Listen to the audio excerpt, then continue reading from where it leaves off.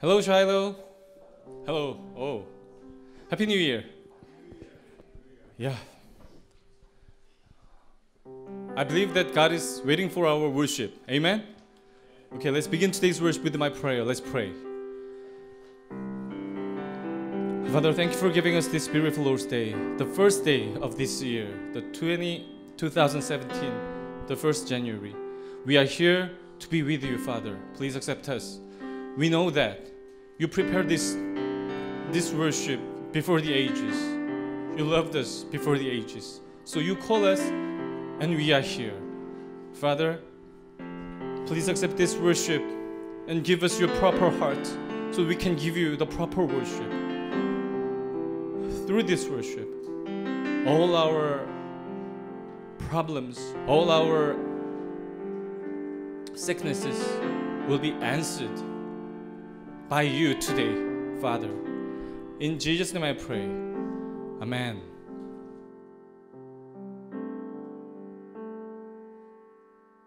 Wherever you are, I believe that. I know that. Wherever you are, whatever you do, we're going to worship everywhere and we will accomplish we will carry out the history of redemption amen let us sing at the place where you call all together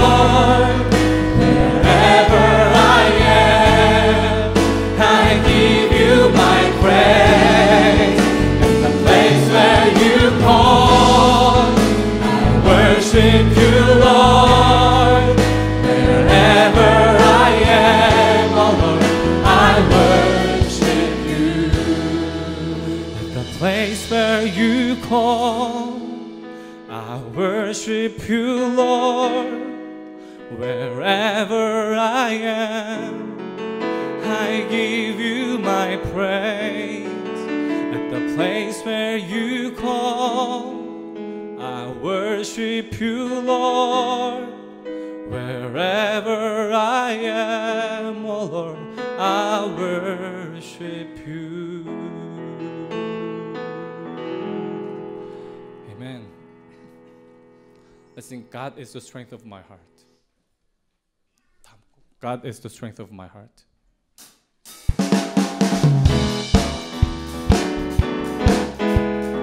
God is the strength of my heart. The third one.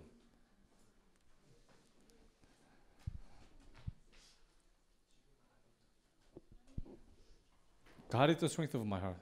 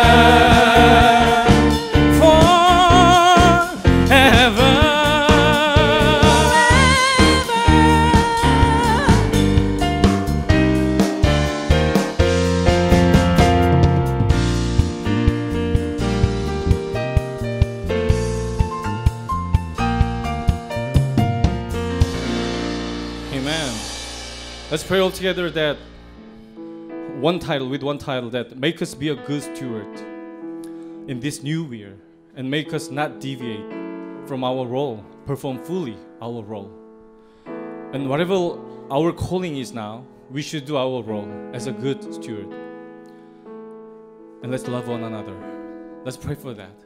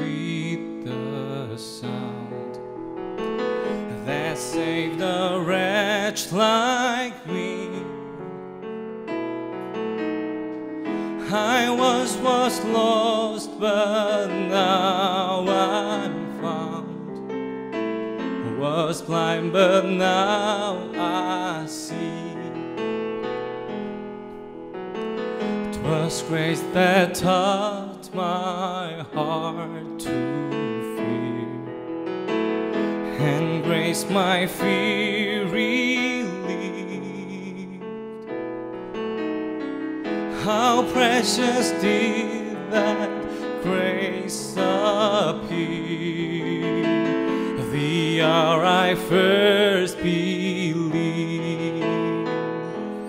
Praise the Lord. Praise the Lord.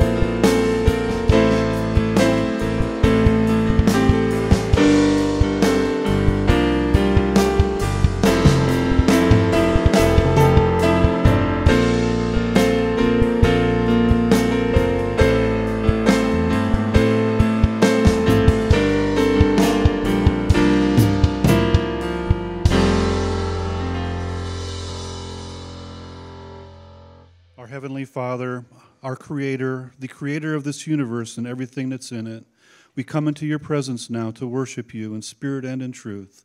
Father, we thank you for leading and guiding us on our steps to come to this place, at your appointed place, Father, to come to worship you in your presence.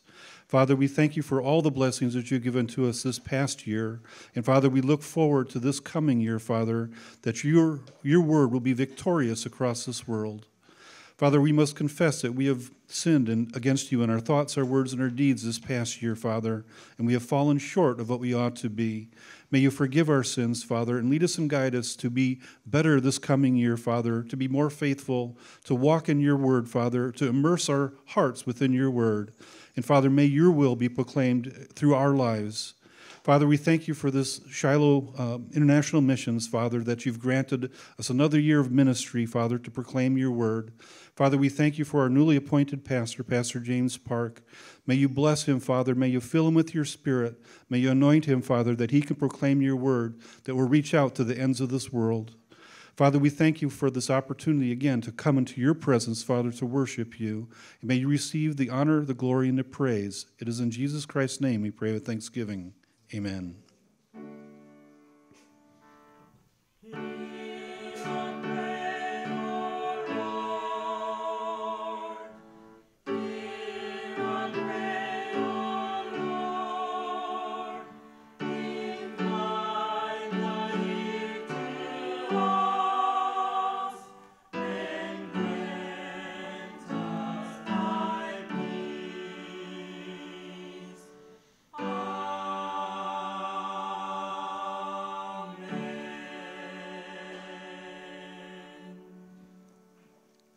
Our scripture reading for today comes from Joshua chapter 18, verses 1 through 10. Joshua 18, verses 1 through 10. Follow along as I read. Then the whole congregation of the sons of Israel assembled themselves at Shiloh and set up the tent of meeting there, and the land was subdued before them. There remained among the sons of Israel seven tribes who had not divided their inheritance. So Joshua said to the sons of Israel, How long will you put off entering to take possession of the land which the Lord, with the Lord, the God of your fathers, has given you? Provide for yourselves three men from each tribe, that I may send them, and that they may arise and walk through the land, and write a description of it according to their inheritance. Then they shall return to me. They shall divide it into seven portions. Judah shall stay in its territory in, on the south, and the house of Joseph shall stay in their territory on the north. You shall describe the land in seven divisions, and bring the description here to me. I will cast lots for you here before the Lord our God. For the Levites have no portion among you, because the priesthood of the Lord is their inheritance.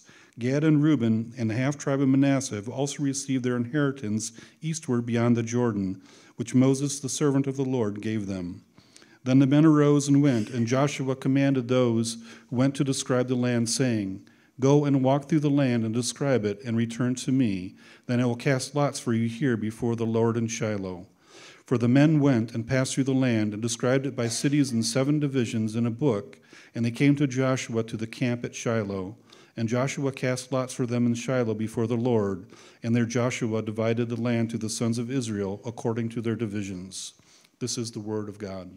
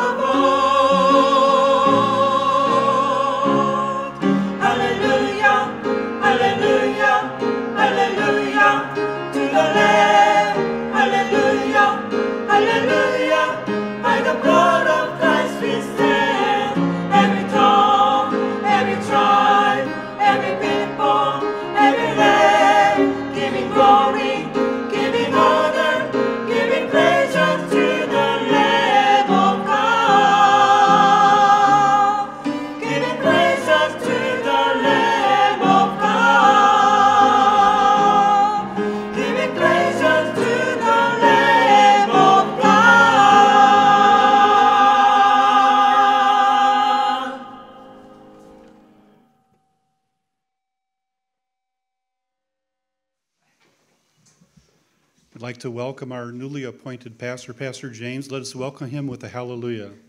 Raise your right hand. Hallelujah.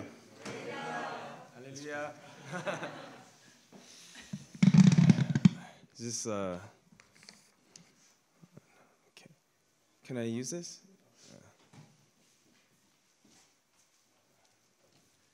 While he's setting that up, uh, I guess it's proper to make a formal uh, greeting. I was appointed the Shiloh uh, pastor this year. Uh, but as you know, I'm also over uh, the Hepzibah College Group.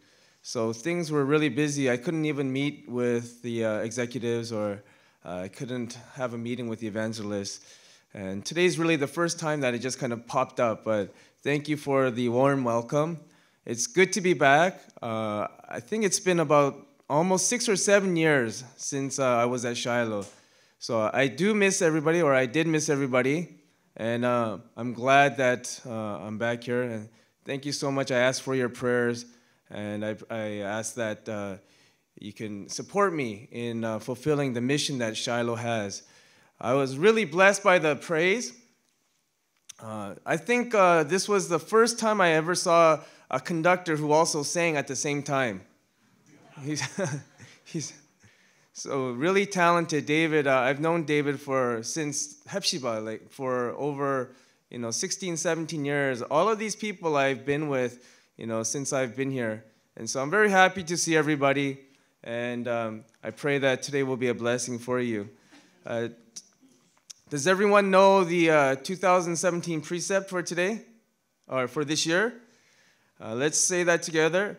A church that fulfills, let's follow after me, a church that fulfills redemptive history by carrying out the love of the cross. Uh, this is the uh, precept for year 2017. And I, I hope that Shiloh can really actualize and carry out the love of the cross and really sacrifice and love each other so that we may be able to be revived and really be an outlet for all of the nations to come to this word. I pray and bless this upon you in the name of the Lord. Amen. I'm going to get started. Can I do this? Do I? I don't know. Is this all right?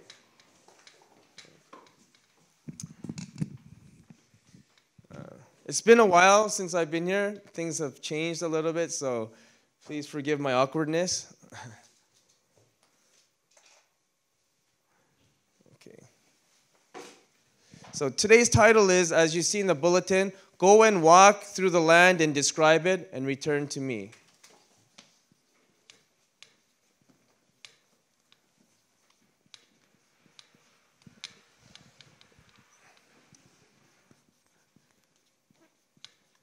Go and walk through the land.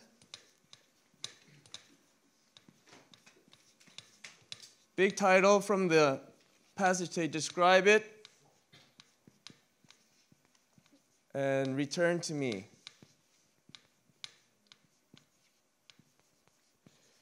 And the main passage is Joshua chapter 18, verses 1 through 10. Now, actually, um, uh, I want to start a, a, series of lectures, and uh, it's going to be about the conquest of Canaan land. And go and walk through the land and describe it and return to me is actually part of the conclusion. It's part of the conclusion. And so today, uh, I want to uh, just give you the, out frame, the, the outlook, the framework of the fulfillment of the covenant of the torch. And so the covenant of the torch, I divided into three parts. And so we're going to study in three sections. And today we're just going to cover the first one. And so uh, we're going to see uh, how uh, the fulfillment of the covenant of the torch pertains to us today and how we can become uh, the uh, end time workers for our Father, understanding this word. And as you read today's passage, did you notice a word that kind of repeated uh, over and over again? Shiloh, Shiloh, yeah, Shiloh. And so I, I really uh, uh, am con- uh, convinced that our God, the Father, has a word for Shiloh today and for this year. I really feel strongly that Shiloh is going to rise to a, a new level. Amen. Shiloh is going to rise to a, a new anointing. Amen. Shiloh is going to rise to a, a new task uh, that God has placed for you and for us for the year 2017. And so, this word, I pray that you store in your heart and you keep it, and that you may be able to believe it and become uh, the owners of this word. And I pray and bless this upon you in the name of the Lord. Amen. I said, uh, I divided the covenant of the torch into uh, three sections. And the first one is uh, crossing the Jordan River, crossing the Jordan River.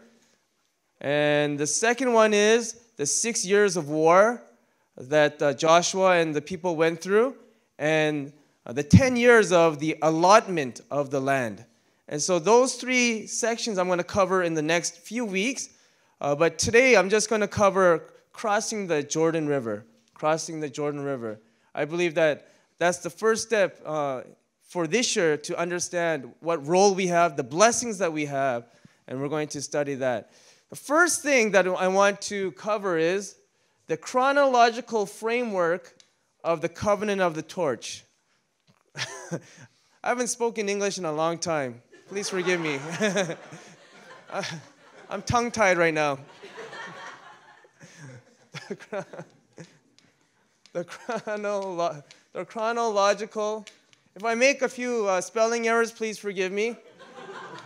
chronological framework.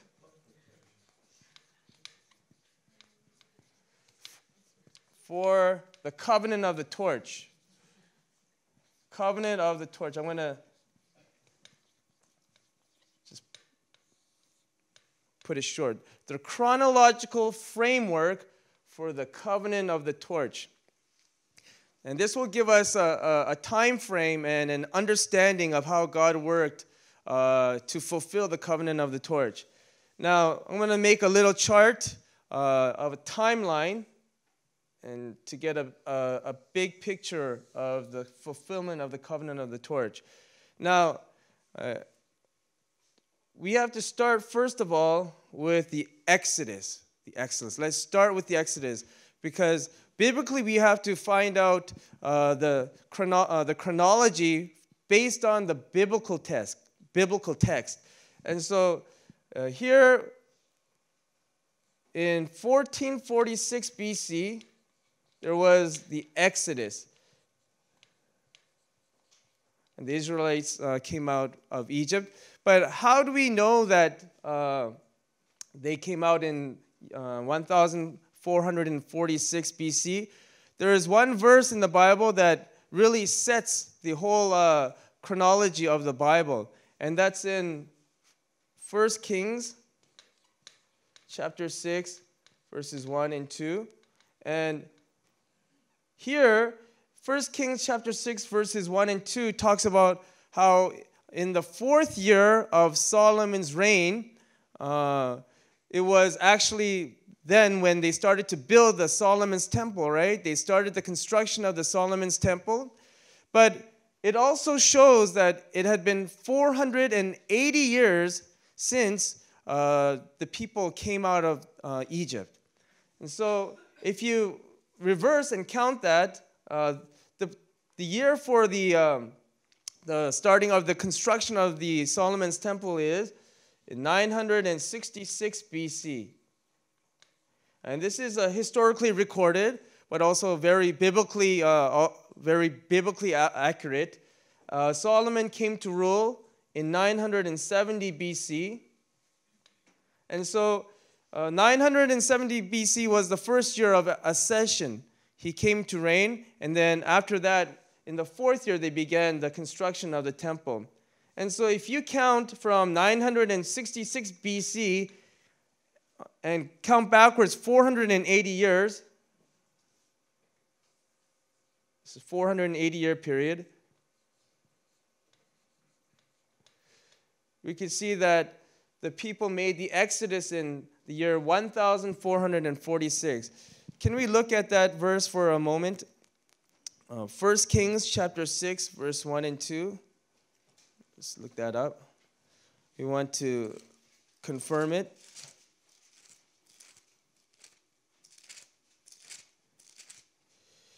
And we're going to lear- uh, look up a lot of Bible verses, and it's going to give us good practice in reading and finding the verses. Uh, verse 1 and 2, let's read it together. Do you have the NASB version? Everyone has NASB or ESV? NASV, all right. So let's start from verse 1 and let's read it together. Ready? Begin. Now it came about in the 480th year after the sons of Israel came out of the land of Egypt in the fourth year of Solomon's reign over Israel in the month of Ziv, which is the second month that he began to build the house of the Lord. Verse 2 As for the house which King Solomon built for the Lord, its length was 60 cubits, and its width 20 cubits, and its height 30 cubits. So here uh, we see the Bible gives accurate uh, chronology, accurate years of when the Israelites came out of uh, Egypt. And so it had been how many years? 480 years since they made the Exodus. And so we date the Exodus here at uh, 1446 BC. This is the, the year of the Exodus. Now, from here, we can keep on uh, calculating. We won't do that today because that's not really the point. And so we go all the way back to Abraham's birth. And he was born in 2166 BC. I know Shiloh has studied a lot, so this is very basic knowledge, right? Very basic. And so uh, God uh, ratified the covenant of the torch. It's part of our title. The covenant of the torch uh, with Abraham in Genesis chapter 15. And the uh, year was 2082 BC. Now, in the year 2082 BC, how old was Abraham? He was 84 years old. Okay. Uh, also, another important date that we want to uh, fit here is uh, after they came out of the Exodus, they spent how many years in the wilderness? Yes. So they spent uh, this period of 40 years in the wilderness. So this was the wilderness period.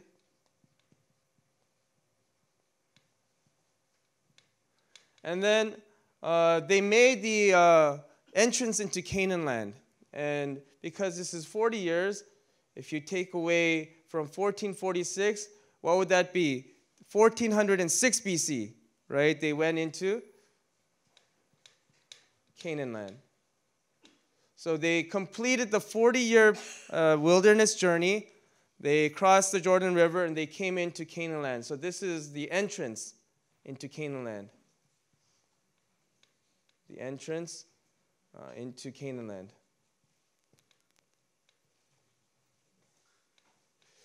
Okay, now, uh, from there, we have a 16 year period of the conquest of Canaan. Uh, but that 16 year period is divided into six years of war and then 10 years of allotting the land, the rest of the land. And so here, 1400 BC, uh, and this is a period of how many years? 16 years. This is 16 years. Uh, sorry, six years.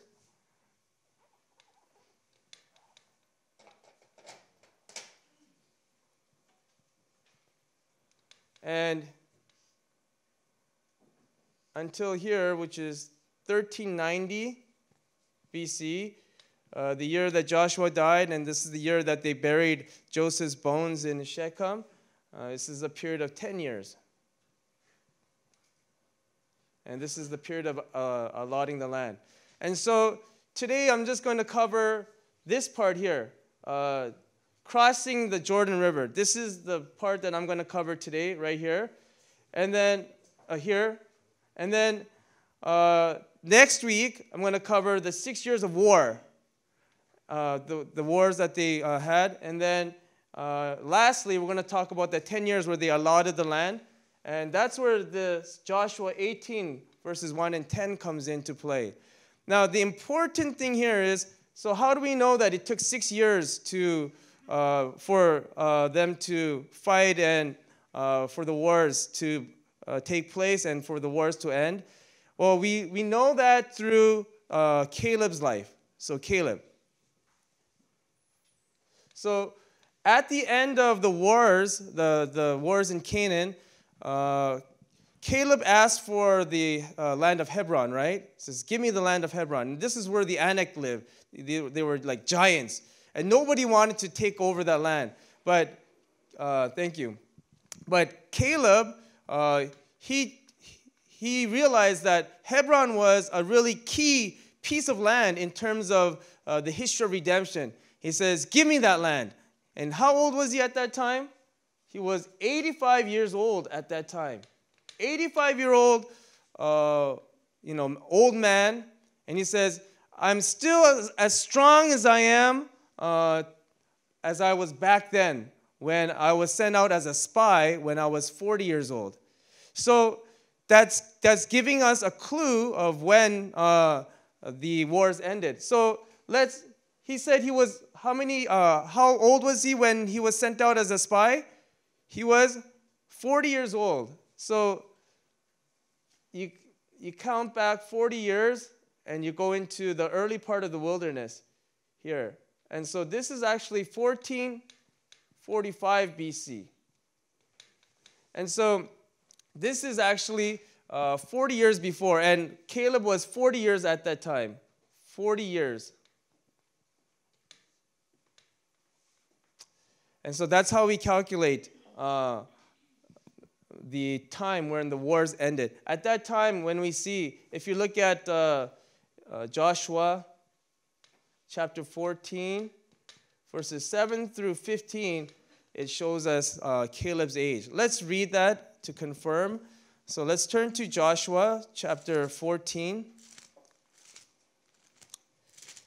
Uh, I don't know about you, but I, I, love chronology, or I love, you know, doing the, uh, the math, and I love putting the pieces together.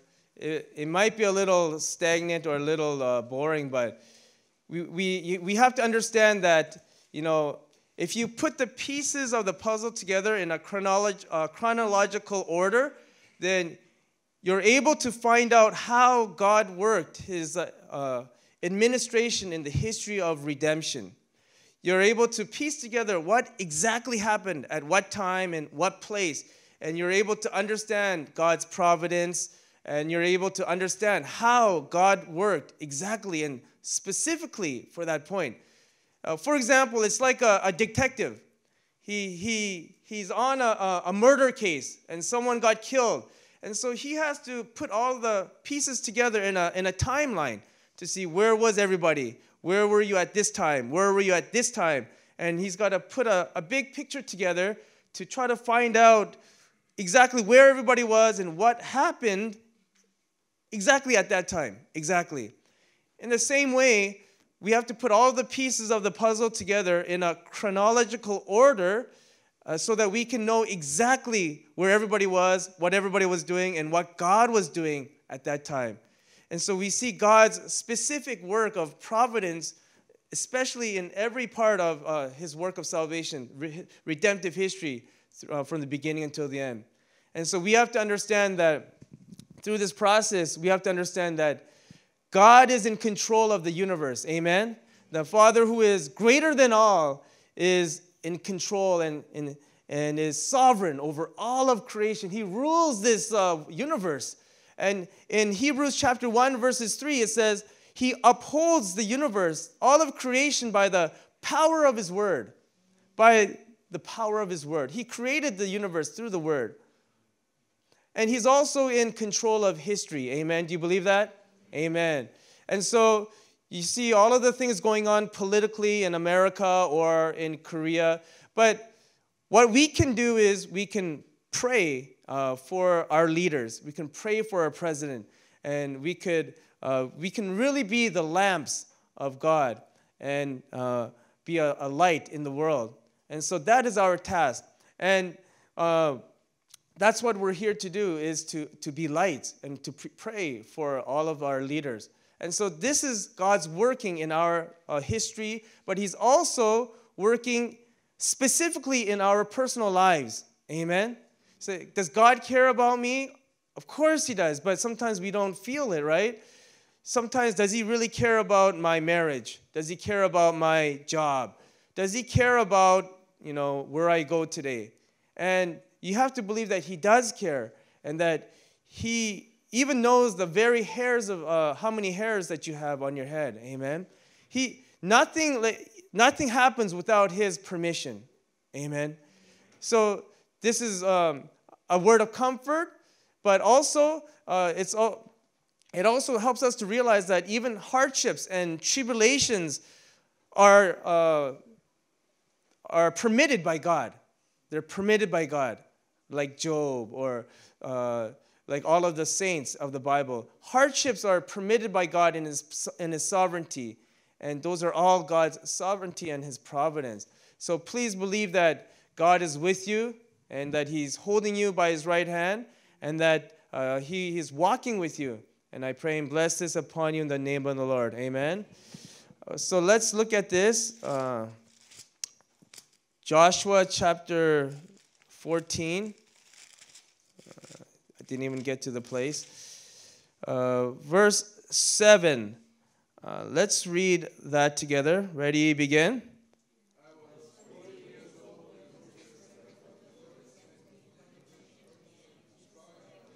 Yeah. Right. So here, uh, when he when Caleb was sent out as a spy, how old was he? 40 years old, right? And who he was amongst the uh, 12 spies, and along with him was Joshua, right? And so uh, they gave a, a, a positive report. They said, "Yeah, we could take these guys. We can go, go get them because God is with us, right? But the 10 spies, you know, they gave a bad report. But everybody died in the wilderness except Caleb and Joshua because of their faith. They believed in God's promise. And the reason why we know that uh, Caleb was uh, 40 years old in 1445 was because uh, they set out uh, and uh, uh, from Egypt they set up the tabernacle, and they, once they set up the tabernacle and received the Ten Commandments, they started to move out and they moved to, they started to move to uh, Kadesh Barnea. And so at that time it was 1445. 1445. It was the second year of the Exodus. And so as just a reference, Numbers 10, 11 shows you, Numbers 10, 11 shows you that it was the second year uh, of the Exodus, which is 1445 uh, when they started to uh, camp out into um, the rest after Mount Sinai, the rest of the wilderness journey. And so here, we know that uh, Caleb was 40 years old at 1445. Does this stick? No, okay. In Mariah, it sticks. All right. so, uh, so for 1445, he's 40 years old. But uh, let's look at another verse. Uh, if you look at, uh, keep going forward. Uh, yeah, let's look at verse 11. Uh, this, uh, sorry, verse 10 and 11. verse 10 and 11. Let's read that together. Ready, begin.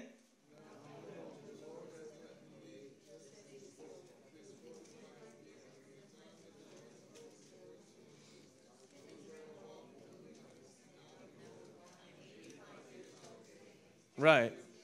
Keep going. Yes, keep going.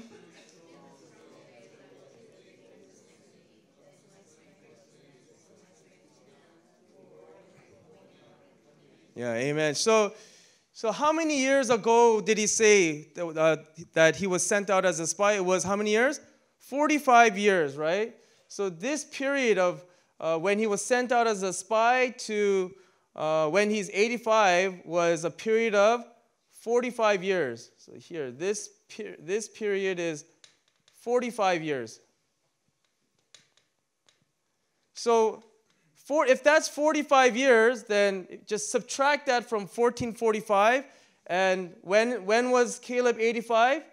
In the year 1400 BC. 1400. So that's how we get the six years of wars in the land of Canaan from 1406 to 1400. We, we get that dating through uh, Caleb's life. And so, how do we know that the wars ended at that time? So, at the last verse, let's read verse uh, 15. Uh, the last verse there, Joshua chapter 15, verse 14, verse 15. Let's read that together. Ready, begin.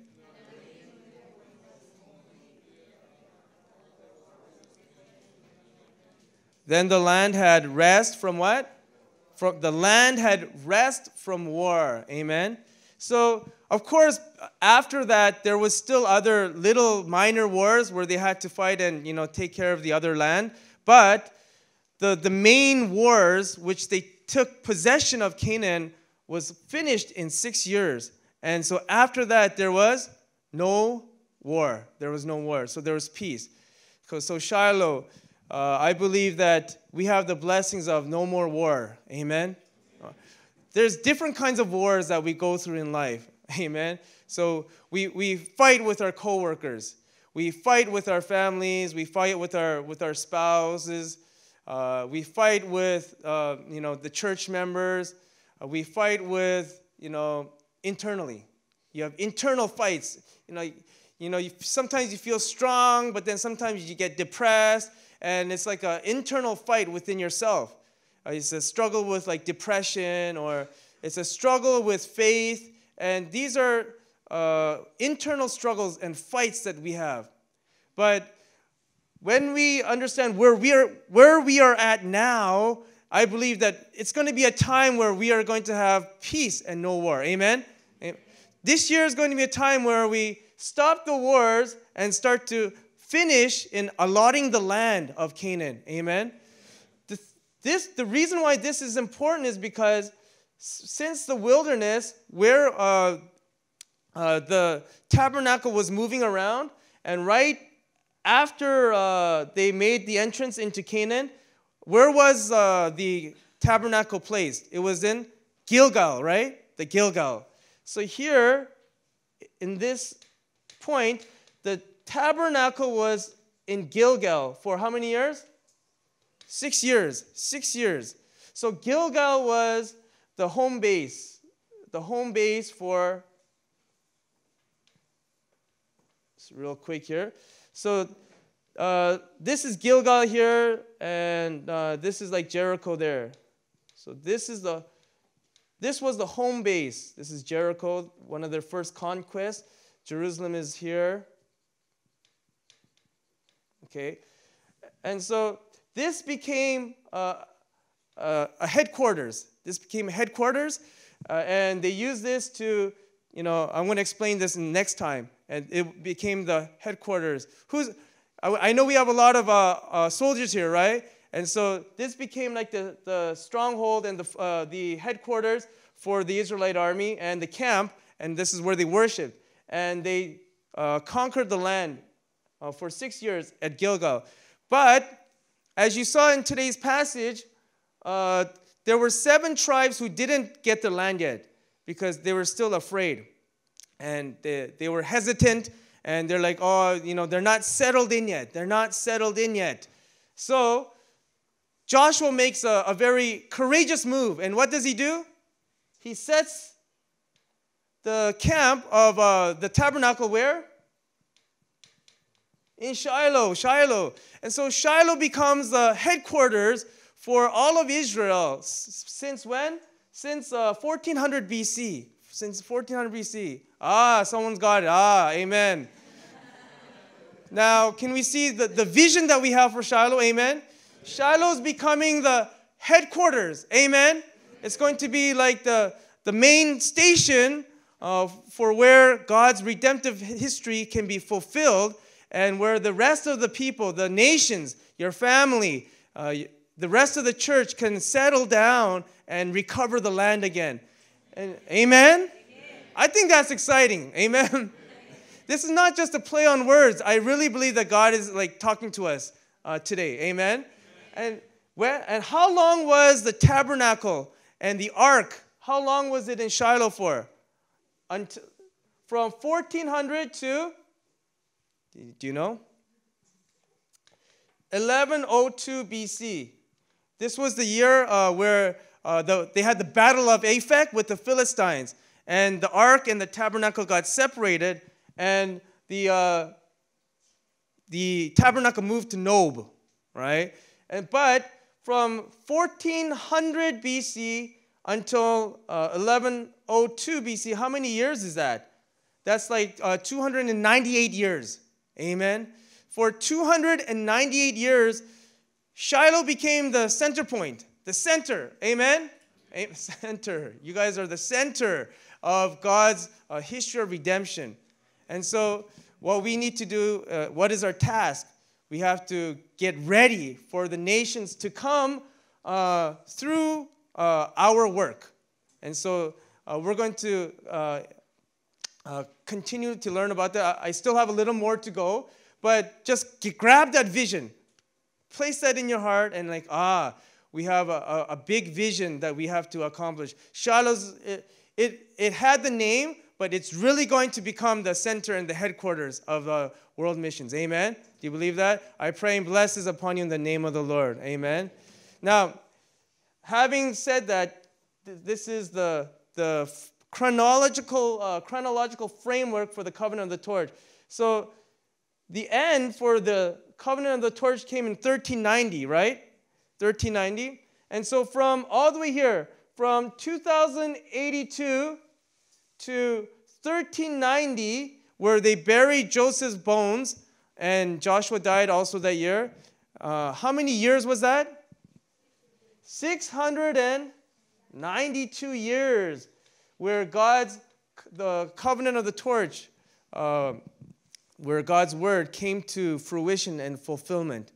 And so, what can we learn by this? We can learn that no matter how much time passes by, generations, hundreds, uh, centuries pass by, if God speaks the word of the covenant, he surely will fulfill it. Amen. Amen. And so there was a period of 692 years until the fulfillment of the covenant of the torch. And um, I believe that we also have the remaining uh, fulfillment of the covenant of torch. Uh, basically, that becomes uh, eschatological uh, work that we have in the end time. And so uh, I pray that you may be able to grab the vision of Shiloh that we have for this year, and that you may be, get a little excited and start to think about evangelism and uh, how through Shiloh we're going to help people to settle down into the land, settle down into our faith, settle down into our families, settle down into the church. So Shiloh's going to be going to become a place where people go through to settle down into the church and to uh, become our family. Amen? Amen. Now, secondly, uh, see here, the process of crossing the Jordan River. Uh, just briefly cover this and we'll finish today. So, uh,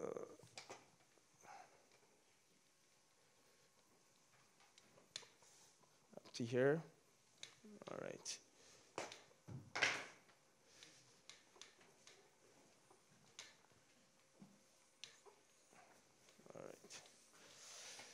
All right. Uh, so, secondly, we're going to cover uh, the process of crossing the Jordan River really quickly, and then we'll finish for today. Process of crossing the Jordan River. Of crossing the Jordan River.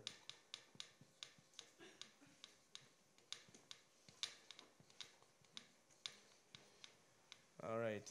Uh, in order to find this, uh, we have to turn to Joshua chapter 3, verses 1 through 7. The first thing that we have to do, according to Joshua chapter 3, verse 3, the first thing is to uh, go after the ark. Go after the ark. Go after. Go after what? The ark. So let's look that up. So now, the Israelites are ready to cross the Jordan River, right? They haven't entered into Canaan yet. They're right on the edge here. And so uh, they're ready to cross the Jordan River. Joshua chapter 3, verse 3. All right, let's read that together. All right, ready, begin. And they commanded the people, saying, When you see the ark of the covenant of the Lord your God with the Levitical priests carrying it, then you shall set out from your place and go after it. So, what does it say? Go after, go after the ark. So, uh, it's, it's saying follow the ark. So, what does that mean? It means to follow, it means to look at. To look at. All right. Uh, up till now, uh, the, God led the people through the uh, pillars of the cloud and the covenant of the ark, right? And so, uh, if you look at uh, Numbers chapter 9, verses 17 through 19, Numbers chapter uh, 9, 17 through 19, it talks about how when the cloud lifted, they moved with the cloud, right? They knew when to move. But also, if you look at uh, Numbers 10, verse 33, uh, the Ark of the Covenant went ahead of them a three days journey and found a place of rest for the Israelites, right? So, two things uh, led the Israelites it was the pillars of cloud and the Ark of the Covenant. But now, the pillar of cloud was not there anymore. It disappeared. It was not there anymore. So, do you know the difference between why, uh, why they needed the cloud and why they needed the ark? What's the difference between those two? They both led the Israelites, but what is the difference? If you look at the pillar of cloud, the pillar of cloud, this revealed God's time. God's time. All right? So they knew when to go and they knew when to stop. So this is God's time. We have to understand God's time, right? What time we are in, okay? And so this is a very important word. But the Ark of the Covenant revealed God's specific will. The Ark revealed God's specific will, God's specific place. And so this is very important. So many people know God's time, but they may not know the specific will or place. A lot of people say, oh, these are the end times, these are the end times, but they don't know what to do or they don't know where to go. But some people, they may know where to go, what to do, but they may miss the time. Do you understand? Right? Like uh, King Herod, he knew that Jesus was being born, but he didn't know the exact place. He didn't know the exact uh, will of God. And so we have to know both. And that's the difference uh, that uh, the difference between these two. But now the cloud was not there anymore. So what does that show us? This is showing us that stop looking in the heavens at the clouds and start looking at only the ark. What is the ark representing? The Word of God. The Word of God. So, uh, in other words, uh, stop looking. Uh, if you live your life of faith based on people, based on your husband, you know, you're dragged by your husband to church, or you were dragged to church by your wife, or you came to church because of your mom or your dad, or your, your faith was based on outward manifestation, like visible things, right? or the environment. You lived in a good environment. But now, what is God saying? God is saying is now you're going to have to mature. Don't rely on the outward uh, manifestations or the visible signs or people because you're going to be disappointed. But focus and go after only what? The ark. Only look at the word. Only look at the word, nothing else. Because everything else will disappoint. And so if you look at uh, Second Chronicles, uh, Second Corinthians chapter 4, verse 18.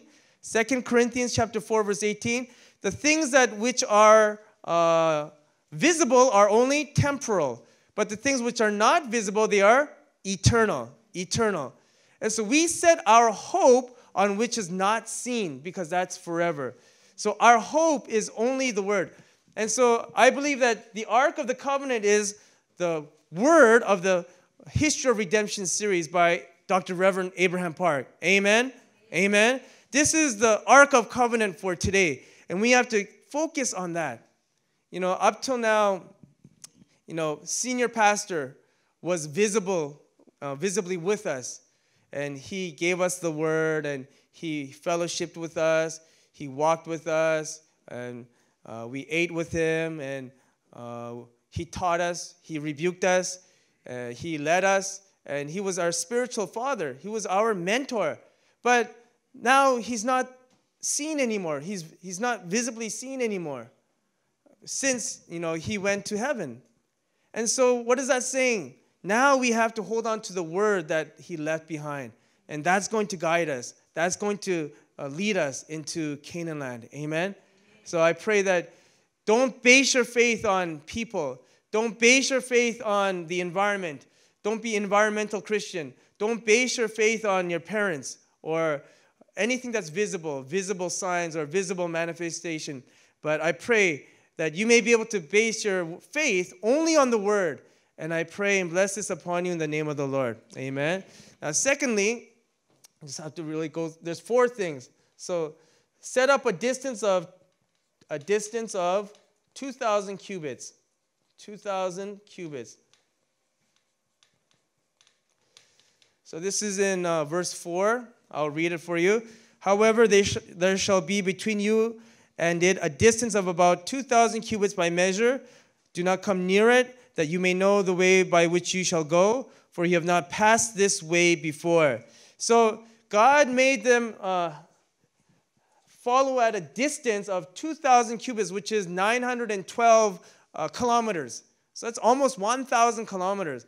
And the reason is because this was a, uh, they could, everybody could see the ark, and everybody uh, could know where to go. And uh, this was a, a, new path that they were on. This was a place where they had never gone before.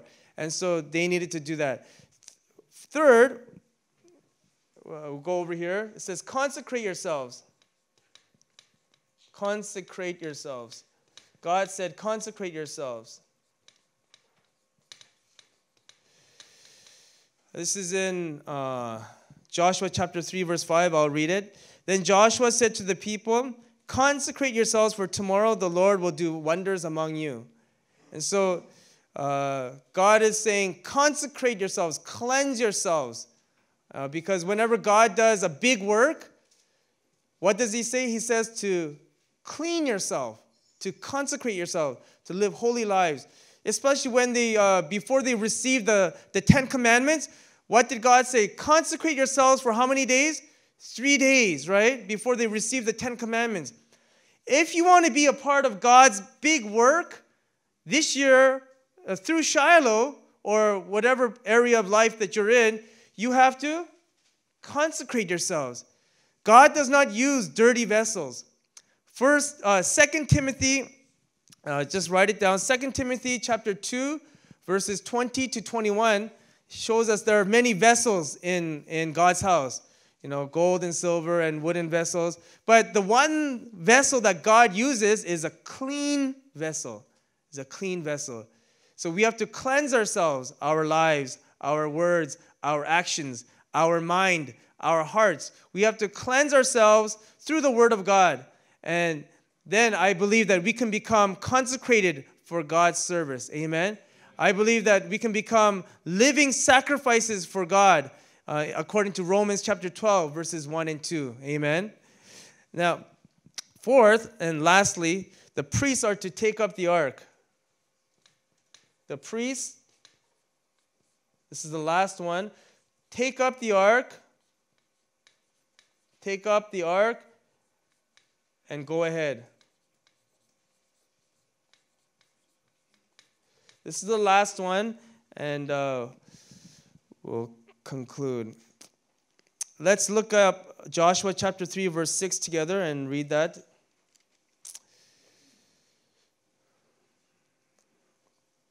Joshua chapter 3, verse 6. Okay, let's read that. Ready, begin. And Joshua spoke to the priest, saying, take up the ark of the covenant and cross over ahead of the people. So they took up the ark of the covenant and went ahead of the people. Now, uh, if you keep reading Joshua chapter 3, uh, verse 17, let's read verse 17. Ready? Begin. And the priests who carried the ark of the covenant of the Lord stood firm on dry ground in the middle of the Jordan, while all Israel crossed on dry ground until all the na- uh, nation had finished crossing the Jordan. So, what happened here was picture this. The, the priests took up the ark of the covenant and they carried it on their shoulder, and the river was ahead of them, but as soon as they stepped into the water, the water completely stopped and it formed like you know uh, this big dry path for them so that they could cross over. And so what is this telling us today? And uh, we just read in verse 17 they stood firm. They they stepped into the water and they stood there until everybody crossed. Don't you think that's tiring? Standing for several hours for you know over 2 million people to cross over into the land of canaan? And so they had to just you know, not move, you know, like those soldiers. Uh, those, uh, those guards in London, they just, they just sit there or they stand there uh, in, in position. That's what, the, that's what the priests were doing. And that allowed the rest of the nation to pass through and cross the Jordan River. So, what is that telling us? You and I are spiritual uh, priests. Amen? Amen. And so, what we have to do is we have to be the ones who take up the ark and we have to stand ahead of the people. We have to stand ahead of the people and go in faith and step into the water and uh, be able to stand firm on the ground and make a pathway so that people can go through uh, the river through us. Amen. And so we have to go ahead, take up the word, and go ahead stand ahead. Whatever work there is, if there's church work, what do we have to do? We have to go ahead, stand at the forefront. If there's work to be done, we have to volunteer and say, I want to do it. Uh, Stand at the forefront. Take the word of God and stand by faith and firm into the ground. And through that, people can pass by into the land of Canaan. So whether that's your family or whether that's the church or whether that's the nations, we have to be the high priests who provide and make that pathway uh, by being able to carry the, the word of God on our shoulders. Amen.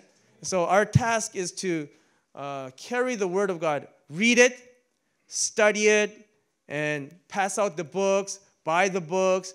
And when we do that, then people will be able to cross the Jordan River through us as we stand on the forefront. And I pray that you may be able to take on this task I pray, bless this upon you in the name of the Lord. Amen. In conclusion, uh, just as a conclusion, uh, after they crossed the river, uh, they set up 12 stones uh, in two places one in the Jordan River in the middle, and 12 stones in, uh, in Gilgal. And so the stones were so big that the, one person had to carry it on their shoulders. And so, what is this telling us? This is telling us that uh, we have to be like those stones, where we have to come together, okay? And we have to uh, sacrifice and we have to work and we have to uh, knit as one. And so Shiloh has to come together like those 12 stones. And you have to be the ones who bring the stones together. 12 people brought the stones and they placed it into a pile in the river. 12 st- people brought those stones and placed it into uh, onto the land of Canaan or the land uh, in Gilgal. So those people had the sacrifice and the, the work. And they did all of the, um, uh, the, blood, the work with the blood, sweat, and tears. And so that requires sacrifice, sacrifice. Without sacrifice, we cannot bear fruit, right? In John chapter 12, it talks about how uh, a seed has to die, a seed of wheat has to die in the ground so that it can bear much fruit. So if we want to bear much fruit, we have to sacrifice. We have to hide ourselves in the ground, and we have to die. We have to deny ourselves. We have to sacrifice. We have to give and give and give. When new members come, for translation sets, we have to go and usher and we have to pass out the sets. That's sacrifice. That's no, that's not something that's fun, but it may be for some people, but so that's sacrifice, that's service. We have to show them their seats. We have to welcome them. That's all part of the sacrificial love that Shiloh has to do for all of the foreigners uh, to make them feel welcome and be a part of the uh, Pyeongkang family. And this is, I believe, our task for this year. Let us be like those 12 rocks and come together, amen, and be able to glorify God. And let us uh, be able to have the faith to go and cross the Jordan River and be ready to take on the land of Canaan, amen. Like the senior pastor preached today, uh, the head pastor, he says, We need to be bold. We need to have a courageous faith, and we need to be strong in heart. And we need to take the faith and march forward, believing that God is with us. And I believe that God will lead you into new land. God will lead you into new job. God will lead you into new status. God will lead you into a, a new land, a new school, you know, new blessings, new raise, new husband, a, a new, a, a new meaning you never had one before. a new husband, you never had a husband, not an, another one, a new one. And so, uh, or the old one will become new. Amen? Amen. The old one will become new. Or vice versa. The old wife will become a new wife. Amen? Because of the change of the heart. God is going to lead you into new land, unconquered land. But it's our job to go forward and step into those places. It's our job to step into the sanctuary, the Shiloh. We have to step into the sanctuary, and that becomes ours, right? You have to make the sacrifice. You have to come to church. You have to go out and, and evangelize, pass out the tracts. You have to praise. You have to pray. You have to read the Bible. All of that is stepping onto the land. And when you do that, I believe that we'll be able to conquer the word, the world with the word of God. Amen. I pray and bless this upon you in the name of the Lord. Let's pray.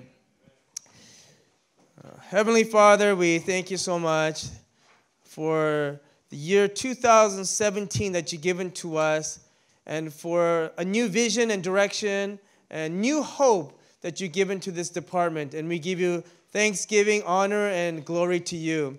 Father, we thank you so much for the word today. And may we be able to have the faith, like Joshua, to conquer the land and to be able to cross the Jordan River by faith.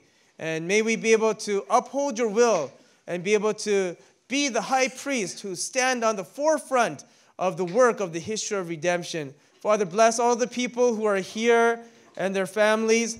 Uh, may you, you be able to pay them back for all of their sacrifice, their work, and for all of the tears that they've shed for all of in for all of those years. May you answer all of their prayers.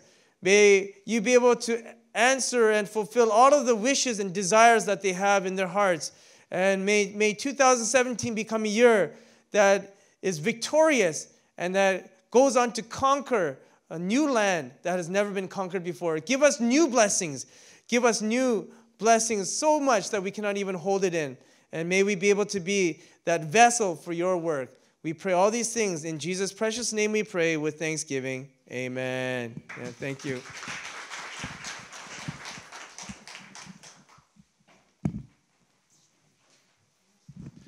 We have been greatly blessed. Let us turn to hymn 382.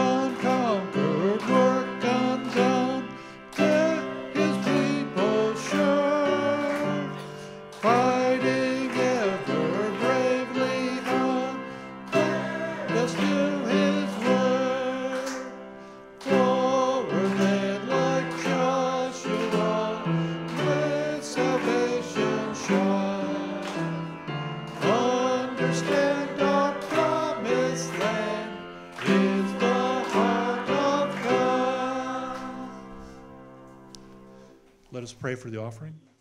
Father, we thank you, Father, for leading us in your house today to hear your words, Father, your words of truth, Father, that speak to our hearts. Father, we thank you for this coming year and this opportunity to serve you, Father, and to work for you, that your word can be proclaimed across this world. And now it is time to give back to you what is rightfully yours, your tithes and your offerings, Father. May open our hearts, Father, to give back to you as a sign of obedience and love for you, Father, that your word can be spread across this world. It is in Jesus Christ's name we pray with thanksgiving. Amen.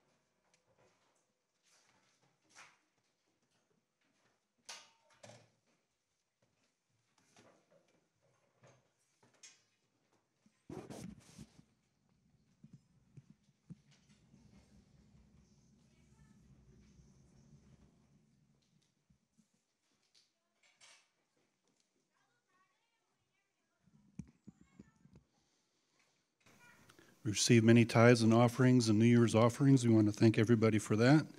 We have one first time visitor with us. Uh, when I call your name, please stand. Im Sebin. Im Sebin. Thank you for coming today.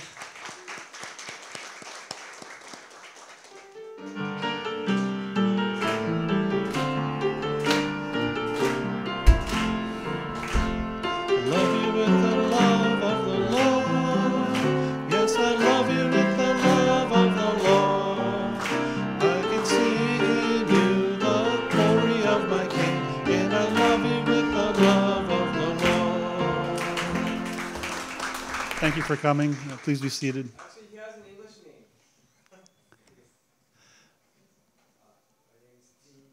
Tim? Steve. Okay. Okay, thank you, Steve, for coming today. Uh, let us pray for the, the, uh, our newcomer and our tithes and offerings. Father, we thank you, Father, for those who open up their hearts, Father, to give back to you, Father, what is rightfully yours. Father, we thank you for our newcomer today, that you'll uplift and you bless him, and you lead and guide him, Father, in his walk with you, Father, that he may proclaim your word in his heart and to his neighbors and to the world. Father, we thank that, that you will use these offerings, Father, to proclaim your word across the world as well, and that your history of redemption, Father, can be proclaimed to the four corners of this earth. It's in Jesus Christ's name we pray with thanksgiving. Amen. Now's our time for announcements, if you can follow along on the screen. First, uh, and we'd like to congratulate and thank Pastor James for coming back to Shiloh. We're, we're thrilled to have him back and uh, in charge of Shiloh, uh, where he started his ministry so many years ago, I think 17 years ago or 18 years ago. 17 years ago. So 2017, 17th year that he's been here. it's, it's great.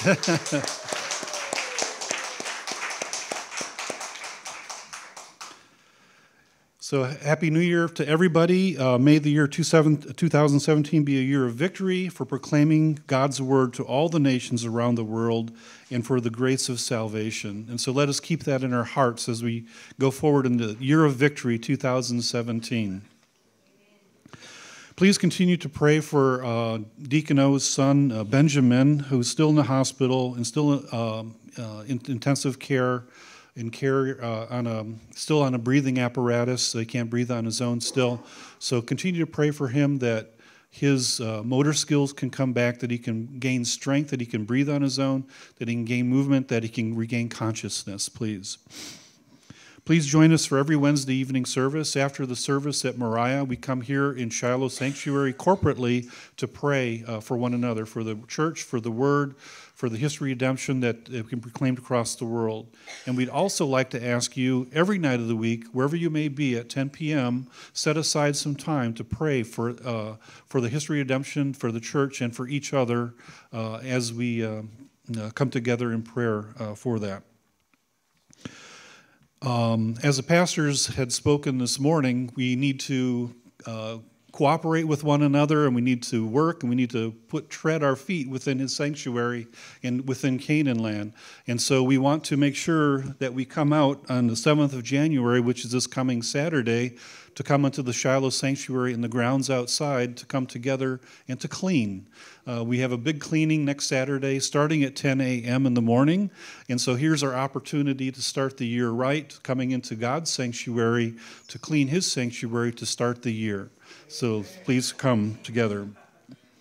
And our Shiloh Bible reading is we finished yesterday last year's Bible reading, right? And today we're starting this year's. And so uh, it says Genesis 1 through 3. I think that's the reading for today, right? We're probably reading three chapters every day for this coming week. Um, so let us uh, uh, start reading the Bible. There's many Bible reading groups, and if you want to join some of them, you can contact them uh, who have set aside and encourage each other through KakaoTalk and other means to uh, read the Bible, read the History Redemption series books uh, in different languages. Some of them read them in Korean and in English this past year. And so we should set that as a goal for ourselves as well. If there are any other announcements, oh, yes, could you please hand me that?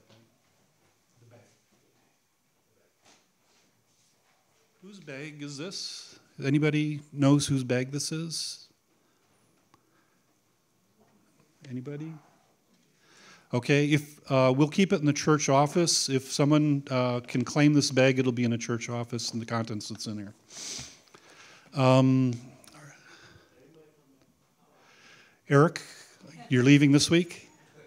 Tonight. He's leaving tonight to go back to Hawaii. Eric and Gian and Eunice Maya. So uh, greet them and wish them for. Oh, okay. okay. So let's, uh, any other announcements? Um, let us stand, sing hymn six, and we'll have the benediction from the pastor.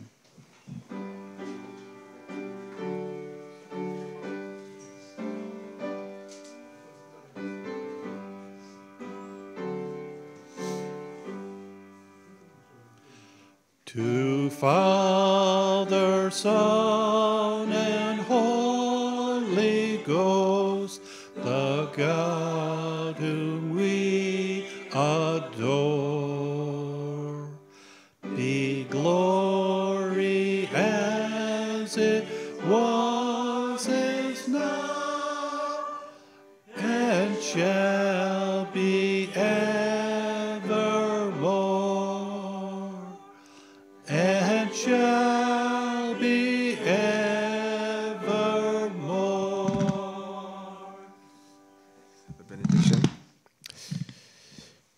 Now may the grace of our Lord Jesus Christ, the everlasting love of our Father, the inspiration, the working, the power, and the filling of the Holy Spirit may rest upon all of the Shiloh congregation who have now decided to take up great faith and to conquer Canaan land, upon their families, upon their workplaces, their businesses, upon their schools, and upon their families that they've left at home from now and forever and evermore. Amen.